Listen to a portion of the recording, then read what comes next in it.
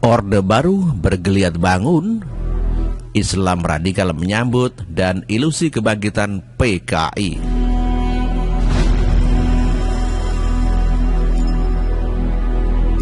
Orde baru ada karena pembunuhan. Perjalanan pemerintahannya juga tak lepas dari penculikan dan pembunuhan.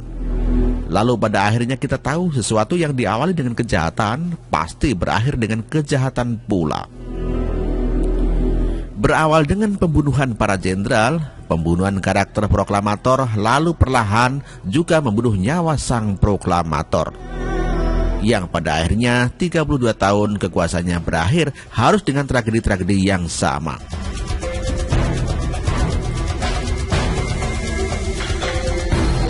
Kalau sudah demikian, sekali lagi kita tahu, jika membunuh saja bagian daripada daya dan upayanya untuk mencapai sesuatu kepentingan, apalagi berbohong kepada rakyat dan korupsi uang negara. Harga-harga segala bahan pokok murah sampai nyawa pun murah. Kala itu seakan menjadi masan Asia, ternyata pemerintah yang melanjutkannya menjadi tak berdaya dari lilitan uang di mana-mana. Sekilas ada samanya dengan Mugen Sukoyomi, jurus ilusi paling tinggi yang ada di anime Naruto yang dibangkitkan oleh Madara.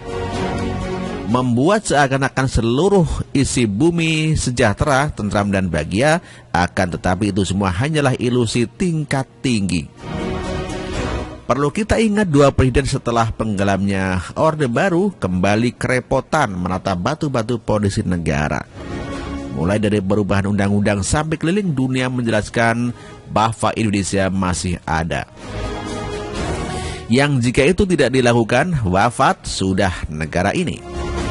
Kekuatan-kekuatan menyokong keberadaan Orde Baru dan kekuatan-kekuatan yang dilarikan Orde Baru menjadi jempalikan manakala bapaknya dipaksa rakyat untuk mundur. Mereka menjadi seperti anak yang belum siap disapai istilah Jawa untuk menghentikan pemberian ASI kepada bayi akan tetapi harus menerima kenyataan kalau akses aslinya sudah diputus.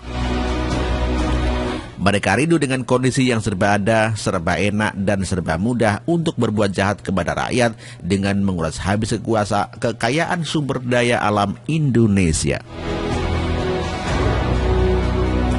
Mereka berpura-pura mengabdi pada negara, menjadi abdi negara akan tetapi kenyataannya apa yang mereka lakukan tidak lebih seperti para tengkulak yang mencekik para petani di desa-desa.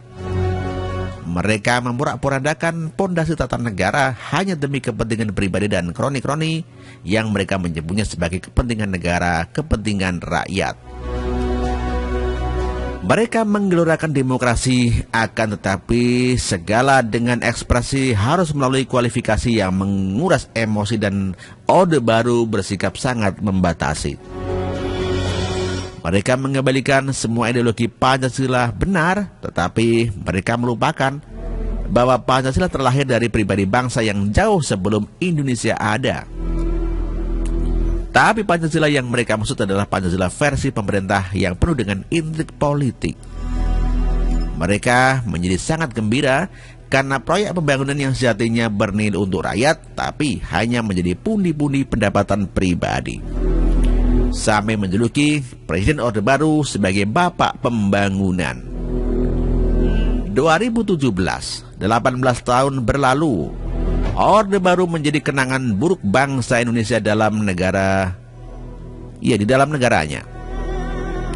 Kini anak-anak kita sudah tumbuh dewasa dan merindukan masa-masa kebahagiaannya semasa kecil dulu.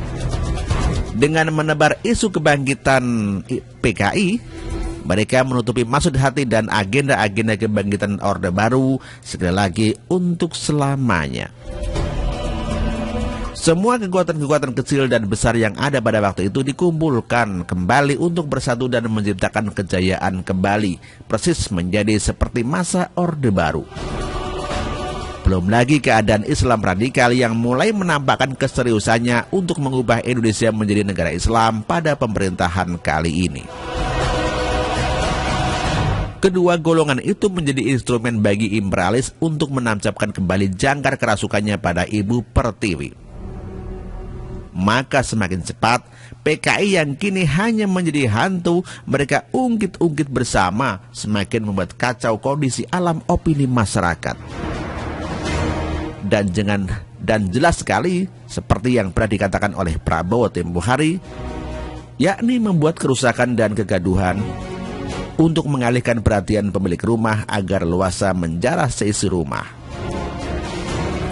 Pemerintah guna membangun negara yang dikdaya di atas limpahan rahmat Tuhan yang menyusun gugusan-gugusan surga ini membutuhkan ketenangan dan dukungan dari segala elemen masyarakat. Tidak semudah membelikan tangan, oleh karena itu pemerintah tidak boleh mengambil langkah kompromis untuk menghindari keruhnya situasi politik seperti pemerintah sebelumnya. Setidaknya, dengan berbekal rakyat yang sudah melek politik dan tidak gampang lagi percaya pada tokoh politik, pemerintah harus menindak mereka yang hobi bikin keributan. Jangan diberi ruang untuk berkembang. Karena jika itu terjadi, perang horizontal antara sama anak bangsa akan terjadi dan lagi-lagi menguntungkan kaum imperialis dunia. Terakhir, Penulis sangat bersyukur dari yang katanya 7 juta masa itu kini hanya menjadi 50 ribuan. Dan aksi G29S PKI ulangi terakhir penulis sangat bersyukur dari yang katanya 7 juta masa aksi itu kini hanya menjadi 50 ribuan. Untuk aksi G29S FPI secara, secara masa rasa baru Artinya semakin banyak saudara-saudara kita yang sudah sadar dan insaf dengan perjuangan bela-belanya itu. Demikian ditulis Ali Sindra. Status simpang siur di mana-mana moto hidup tiba eh Arab iku nggak mung mampir ngombe tok. Tiba eh orep iku gak mung mampir ngombe tok. Terima kasih.